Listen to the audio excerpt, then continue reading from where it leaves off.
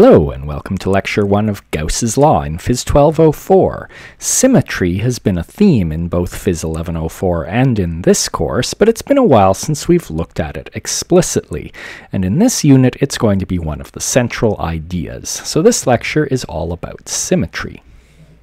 We saw way back at the very beginning of Phys 1104 that the meaning of symmetry mathematically is the group of geometric transformations which leave an object unchanged. So for example, we can talk about the symmetries of this happy face.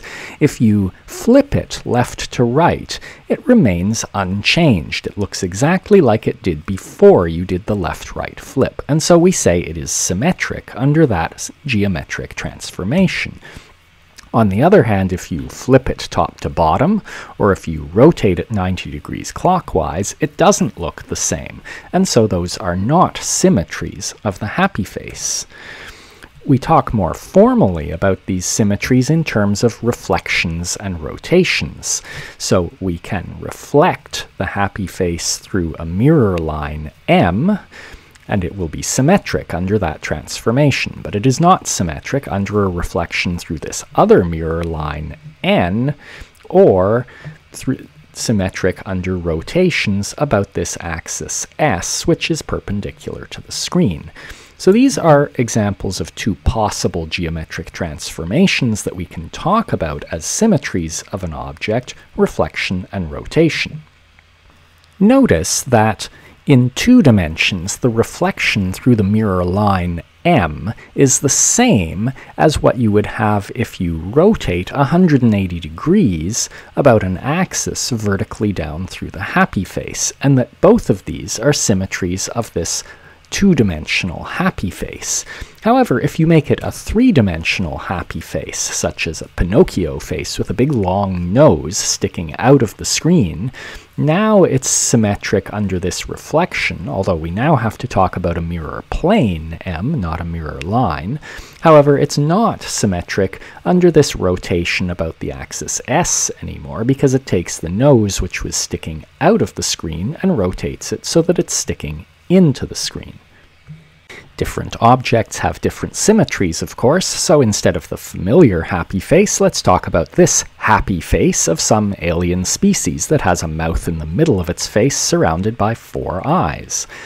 This is symmetric under reflections through the mirror line M and the mirror line N, and 90 and 180 and 270 degree rotations about the axis S. So note that it has more symmetries than the familiar human happy face, and so we would say that this object is more symmetric or has higher symmetry. Often it's useful to refer symmetries to a set of axes. So for this set of axes that I've just defined, I could say that this alien happy face is symmetric under reflections through the yz plane and rotations about the z axis. But the real reason I just introduced axes as a way of talking about symmetry is so that I can talk about one more type of symmetry which this alien happy face doesn't have, and that's translational symmetry. If we translate the happy face along the x-axis, now it's changed. It's in a different location from where it was before, and that counts as a change.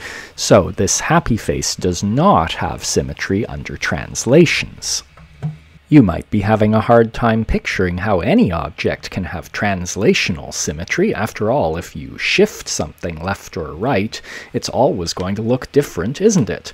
Well, that's true for real objects, but there is one way to have translational symmetry, and it's that the object has to be infinite in size. So let's think of this set of lines that go on forever. Well, note they're symmetric in a reflection through the yz plane, but they're also symmetric if you translate them along the x-axis. How would you know that these lines have translated along the x-axis? Every part of each line looks exactly like every other part, and they have no ends, so you can't see that the ends have moved. On the other hand, they do not have a symmetry under translation along the y-axis.